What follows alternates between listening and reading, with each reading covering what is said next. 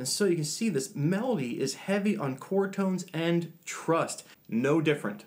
It is no different. A harmony is you just putting in the missing notes of the chord you're on that you didn't use in your melody. It is that simple and trusting yourself to sew them together.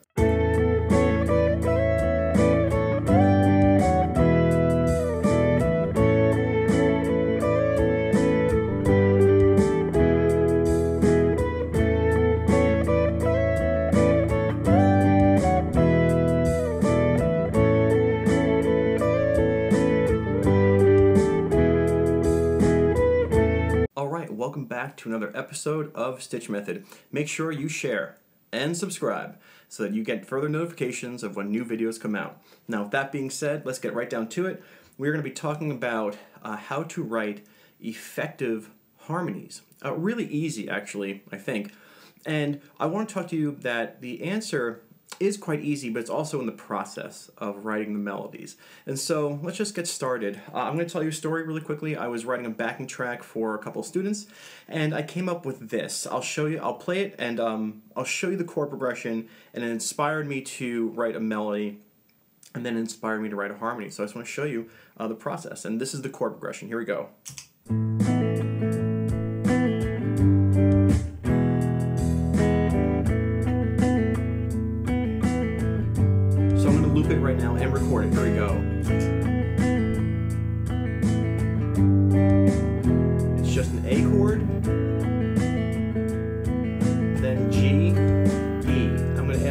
Fluff to it.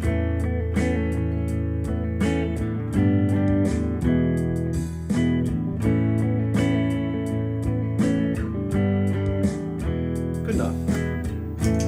So now I have my loop. Perfect. Okay. Sorry, just you always want to listen to your loop, make sure it's uh it's solid. All right, and so um, when it comes to writing melody, there are many many ways to write a melody, but let me share with you what I think is the easiest actually and the most organic, which is just let your loop play whatever you're writing on, let it play for minutes and minutes on end until you start to hear something. And when you start to hear something, grab whatever instrument it is that you uh, play. It could be piano, uh, anything, obviously. Uh, this is a guitar. And try and figure it out and try to figure out what you're hearing in your head. Go slow.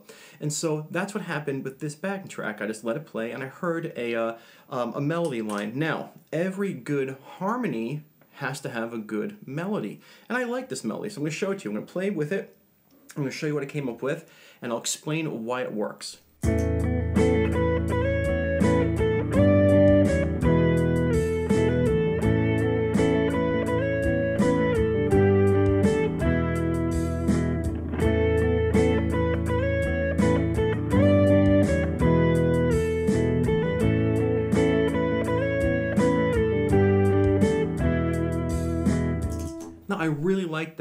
And so once I figured it out, I said, well, why does this work? And right here, in figuring out why it works is the answer to how to write a good harmony. So here we go.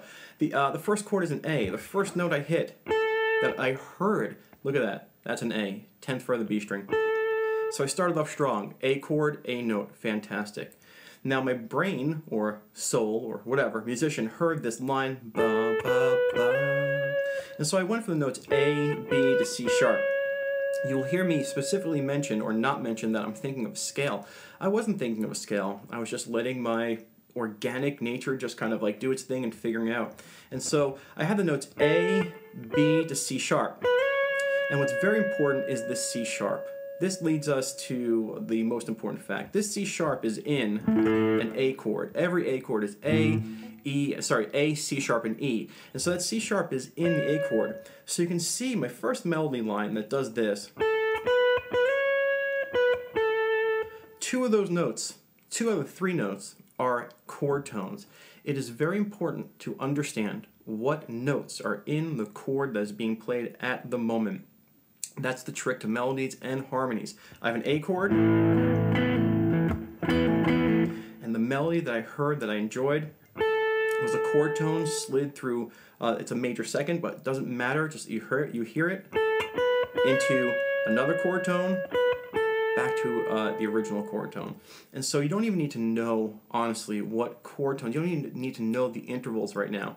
Uh, because you'll see it really it doesn't matter at this point. People are probably like, "What? It doesn't matter." Figure it out. Realize, "Oh, that's an A. Great. That's a C sharp. It's in my A chord." Let's keep on going. I'll play the next part of the of the melody and I'll explain where it came from.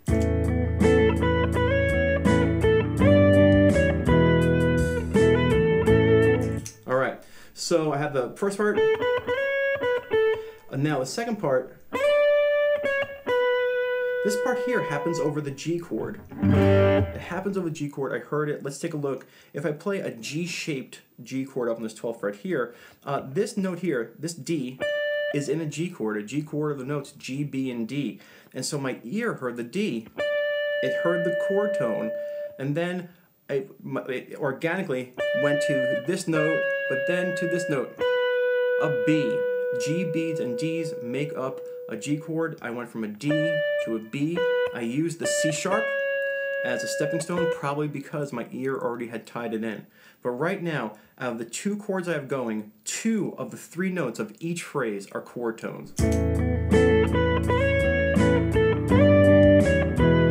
Now, and also, a interestingly enough, I actually hit this B, I, I lied to you, I hit this B on the E chord. This D here I hit on the G. This B I hit on the E chord. I'm not going to edit this. I'm going to show you that uh, I hit the E chord, and if you look, an E chord has the B in it. Surprise, surprise. I went to the B there. And I heard this little where I started to finish it up and come back to the A. And so you can see this melody is heavy on chord tones and trust. That's the most important thing. You have to trust yourself. You have to say, okay, these notes make sense, but is my brain hearing the right thing in between? And if you like it, trust yourself, use it. It's gonna if, if you like it, somebody else will like it. So this entire first part of the melody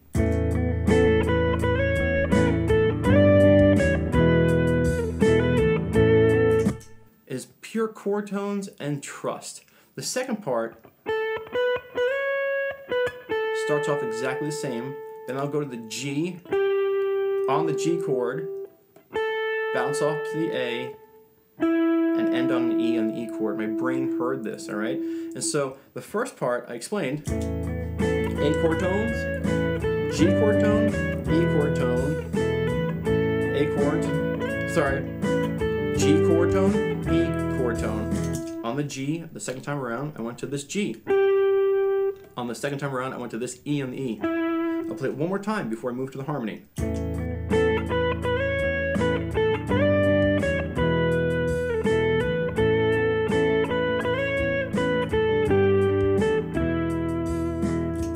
To me, that's a really pleasant and strong melody, all right? So let's get to the harmony. Before we do, I'll be right back. All right, I just had to record the uh, melody onto my looper, which I have now. Let's talk about our harmony. No different. It is no different. A harmony is you just putting in the missing notes of the chord you're on that you didn't use in your melody. It is that simple and trusting yourself to sew them together. So let's take a look at that chord again. We had the A chord. I chose to come in, well, I heard the A note. What other notes exist in an A chord? Well, those are A's, C sharps, and E's. And if I were to stick around the same place, I can make my uh, C-shaped A chord right here. In case you want to watch some CAGED chord stuff, check out this playlist. This is my C-shaped A chord. This is my root note. Now, when designing this melody, I want to look at the other notes I'm not using. Well, I'm not using the C sharp. I'm not using the E. And right now I feel like using the C sharp, I can just hear it. So I'm going to use, uh, write a, uh, a higher melody, an upper melody. So my melody goes from, and now I'm going to try and come in on the C sharp, the note I'm not using of the A chord in my melody, but yet it is still there for the, uh, for the picking. so here's my C sharp. Now my melody goes, so, nope, that note, there we go. And I like this choice here. Well, why? Because I end up on an E. This is an E. A, C sharps, and E's make up an A chord. I go from A to the C sharp here, back to the A, and okay, let's try going from the C sharp to the E.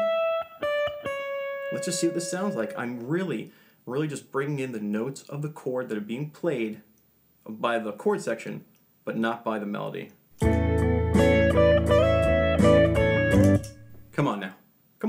It already sounds great, all right? So this is how you write a melody. Let's just keep going. I started on a note that wasn't in my melody of the chord, went to another note, and it, it was magic. Now the next part of my harm my melody, it goes to the D note on the G and with a slide. So where can I slide to in a G? Well, I know it's a G right here, and so let's try it. Oh, sorry. Just coming right. That right there just fell underneath my fingertips. So my my melody. All right, those are chord tones. I have this. That's my chord tone. Leading with a little bit of trust there into a new chord tone, and then it should work absolutely fine. Let's just uh, see what this sounds like.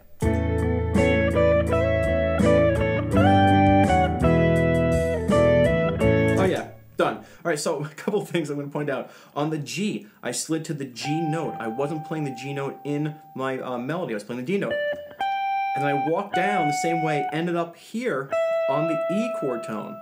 Okay, so what's special about that? Well, here's an E on the E chord. Hitting the E in the E chord is fantastic. I was hitting the B in my melody, but now my E is being played. I'm bringing in a chord tone that wasn't there. So right now my chord tones are... I'll, I'll just play those. And I'm going to sew them together. Whoa, really? Oh my gosh, come on.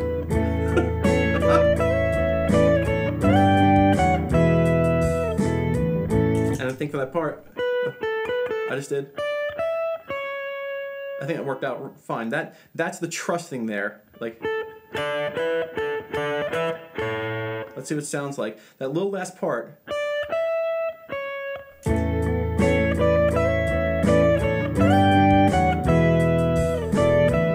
Great.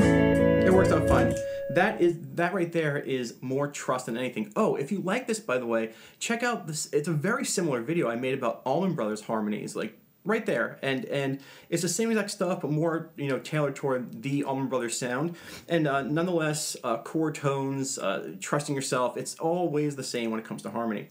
So let's keep going. We have another round of that melody to create a different harmony with. I'm gonna play it one more time because I, I kind of want to try and do something different. So I just want to kind of you know gather my wits. Let's see.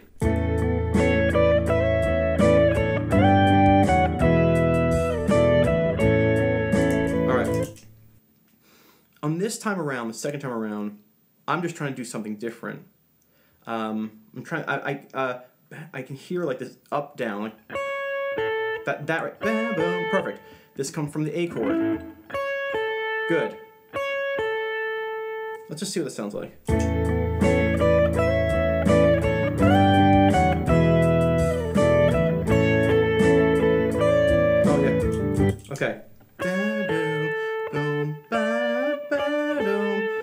Brain just hears that. Again, it's chord tones and trust. Chord tones and trust. Takes a long time. That's on the A, right?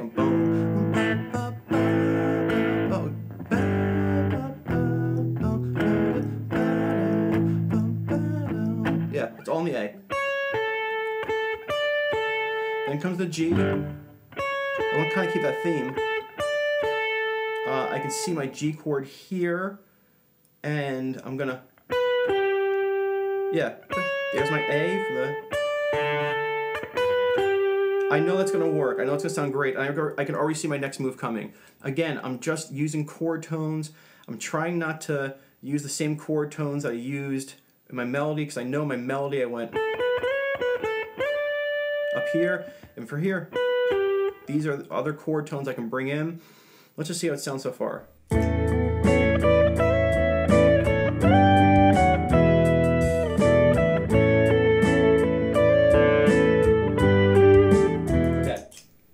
Tell you right now, I already know my last note is, and I'll explain why.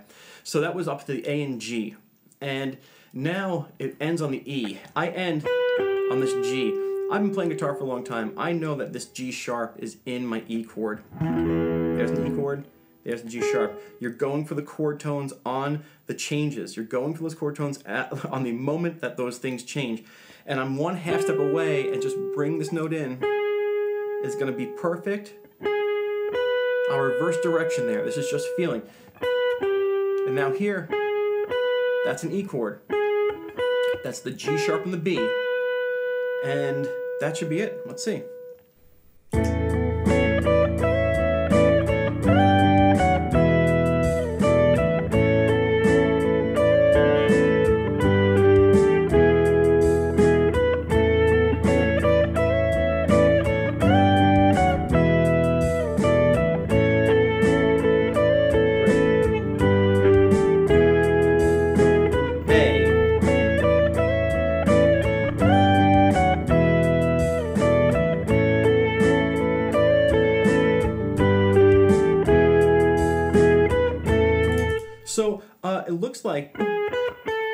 Start on the same exact note on the very first note. Boom. That's crazy. So my very first note, I came back and I hit the A. And it looks like that these two guitar parts are going to start right on the same note. Boom. And then they're going to separate. And so I'll play it one more time. Before I do, I hope I'm getting my point across. It is important to understand, you know, the, when you write a melody, it's going to be, be based on the chord tones of the chords and the changes. And then, and also your trust, sewing them together. Not just arpeggios, not just arpeggios, some heart and some movement. And then when you get to the uh, harmony, it is no different. You just got to use the other notes that you didn't use of your chords that are being played. And if you do, you get something really beautiful. And um, you can hear it here. I really like this. Here we go.